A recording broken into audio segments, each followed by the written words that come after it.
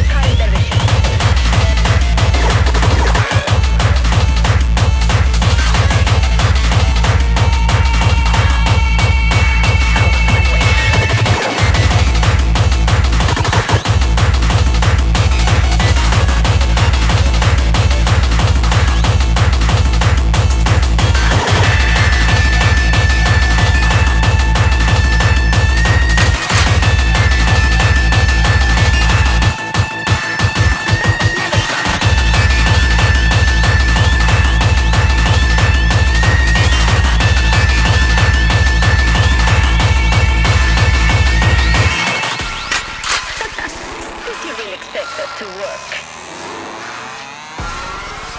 Good evening. I want something. I take it.